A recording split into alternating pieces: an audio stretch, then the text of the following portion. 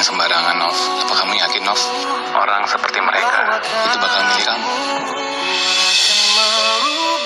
Tami, Nggak bolehin Miss Novia datang ke ulang tahun aku.